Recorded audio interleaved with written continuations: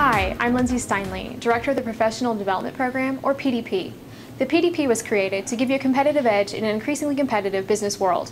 The role of the PDP is to help you gain a clear understanding of the business world through various activities and professional level experiences. One of my main roles as director of the program is to meet with prospective employers who might hire our students as interns. Time and time again, employers are extremely enthusiastic about the quality of education and experiences offered to Mizzou business students through the PDP. We are excited about the program and we hope you are too. Thanks for watching.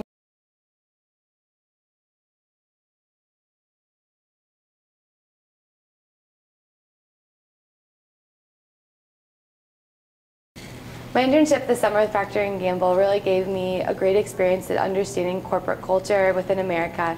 I was able to understand how it's like to work on many different businesses and manage millions of dollars on a daily basis, as well as the importance of the company culture when you're working within a company. For me, it was really important that I fit in with the people I was working with and loved working with them on a daily basis.